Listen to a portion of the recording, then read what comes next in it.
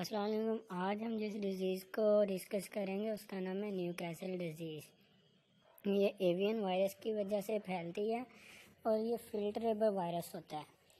ٹھیک ہے؟ جیسا کہ آپ کی اسکرین میں بھی لکھا ہوا آ رہا ہے۔ اور یہ اگر آپ کے فلوک میں آ جائے تو یہ نہ پورے فلوک کو ہی نہ برباد کر دیتی ہے۔ ٹھیک ہے؟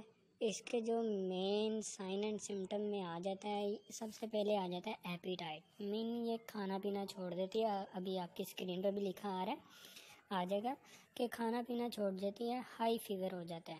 ٹھیک ہے؟ اور جو اس کے ہوتے ہیں نا، اوپر کومب وغیرہ، وہ بھی اس میں بھی شائنس ہونا نا ختم ہو جاتی ہے۔ ٹھیک ہے؟ اور اس میں جو اس کا پوٹا کہہ لیں، جو اس کا اسٹمی کہہ لیں، وہ بھی اس سے افیکٹ ہوتا ہے۔ ٹھیک ہے۔ اس کے علاوہ یہ سانس لینے میں نا اس کو پرابلم آتی ہے۔ اس کے علاوہ اس کے جو فیدر وغیرہ ہوتے ہیں نا، وہ بھی بڑے رف ہو جاتے ہیں۔ پریونشن اینڈ کنٹرول میں اس کی آپ بتائیں گے کہ ویکسینیشن کروا لیں تو بیسٹ ہے۔ اس کے بعد اگر آ جائے تو آپ، وائٹ، مثلاً وائٹامنس کی تھراپی دیں اسے۔ ٹھیک ہے۔ کہ اس کو اینٹی بایوٹک لگائیں تھوڑی سی بی کمپلیکس لگا دیں۔ اگر تو آپ میں نیو کیسل ڈیزیز آ گئی ہے۔